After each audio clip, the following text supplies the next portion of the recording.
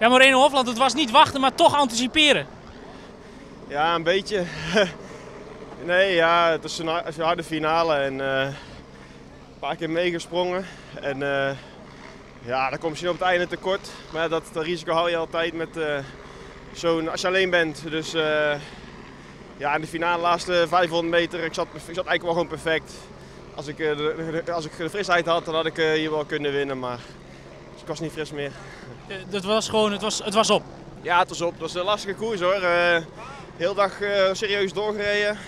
Sterk kopgroep weg. En eh, ja, ik kon, je zag het ook wel. Niemand, iedereen demareerde wel, maar iedereen was een beetje aan elkaar gewaagd. Iedereen zat gewoon een beetje kapot, ik weet het niet. Maar ja.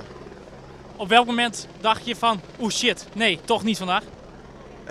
op, de- op 150 meter dacht ik, ik, heb, ik had niet de versnelling die ik hoopte te hebben. En eh, ja, jammer. Verrassende winnaar? Ik weet niet eens wie er wint, Wouter of eh Sinkel? Oh, Sinkel dan, een fotofinish, hoorde ik ook niet pas. Ja? Ja, dan is, ja, geen verrassende winnaar, gewoon een sterke renner en eh verdient gewonnen vandaag. Dankjewel.